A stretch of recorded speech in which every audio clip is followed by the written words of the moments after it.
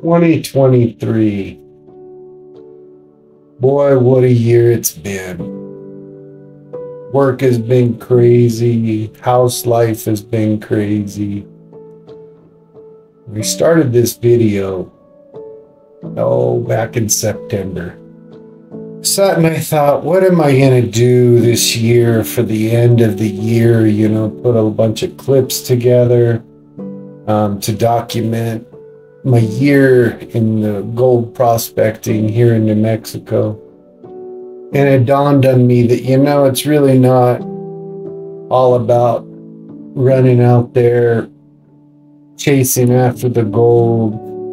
Because I was looking at the clips and I was reminiscing of all the things that me and Suntan went and did.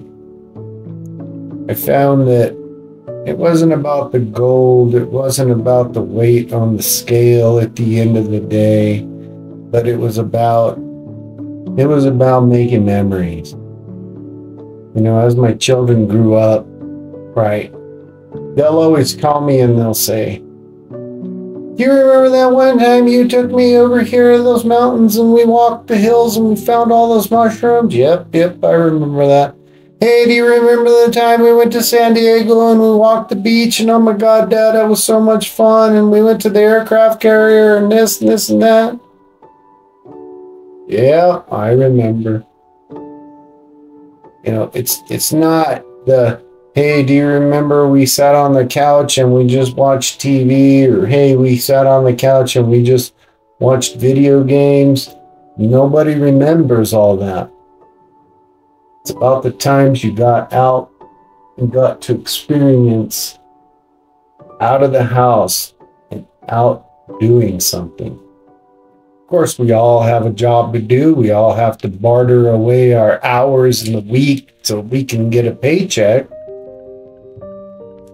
live and pay our bills and be able to do nice things.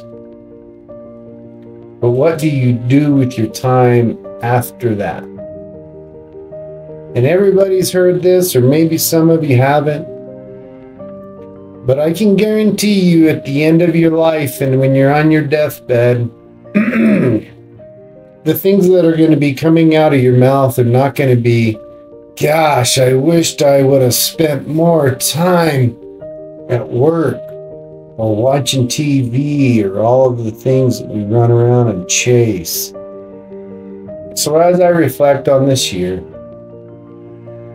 I'm hoping that our videos have compelled you to want to get up, get out of the normal, go on your own adventures, go out seeking the outdoors, maybe find a little bit of gold in the long run, maybe not.